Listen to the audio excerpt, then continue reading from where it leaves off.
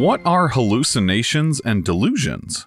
Hallucinations are sensations that are artificially created by your mind but appear to be real. Most people have the impression that hallucination only means hearing things that do not exist, but the reality is a lot more than that. It could be as severe as smelling, feeling, and tasting things that do not exist.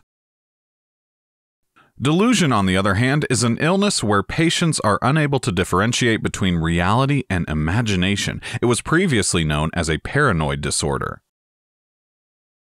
Hallucinations and delusions indicate mental illness, but don't always mean that you're unwell. They are characterized as a psychotic disorder, as both are very common in schizophrenic patients. Convincing patients with a delusional disorder that what they think or believe is not true is very tricky and challenging because they believe what they say and stick to their beliefs. Their claims are powerful. Delusions, in simple words, are unshakable beliefs of people that are contrary to reality. Both hallucinations and delusions can be drug induced and can be a symptom of drug withdrawal many times. These conditions can be temporary or be long term based on varying causes high fevers, anxiety, migraines, depression, mental illnesses, etc. These all can induce hallucinations and delusions. Other causes include brain trauma, Charles Bonnet syndrome, liver failure, toxins, sleep disturbances, etc. Apart from all of these evident and logical causes, a lack of sleep is also a significant cause that can cause hallucinations and delusions. Disturbed sleep causes your brain to work overtime, which stresses it out, so it may release out its stress in this form.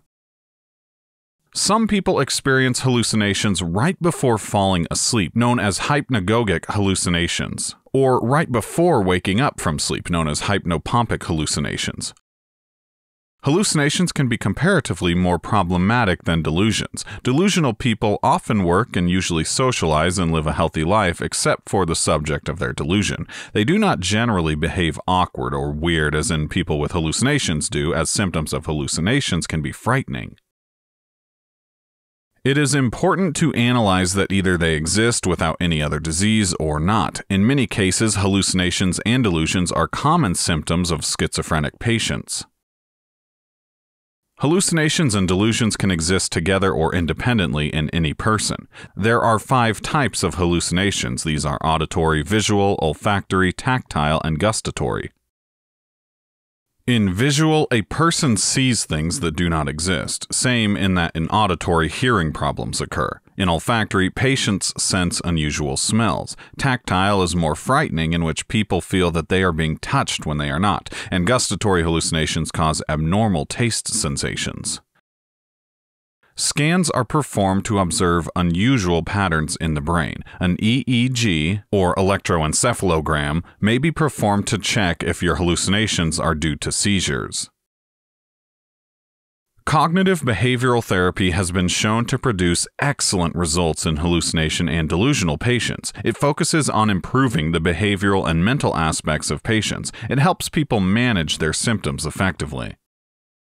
Medications may be needed to treat if the symptoms appear due to schizophrenia, but the major and vital aspect is to be patient with people suffering from hallucinations and delusions. Especially important when dealing with a patient like this is to make sure they don't feel like they are lying. Always remember that they do not do it on purpose. Love and care will heal them in a much more holistic way than anything else. We hope that you are learning something new every day from our videos. If you'd like to know about a specific topic, inbox us, email us, or comment down below.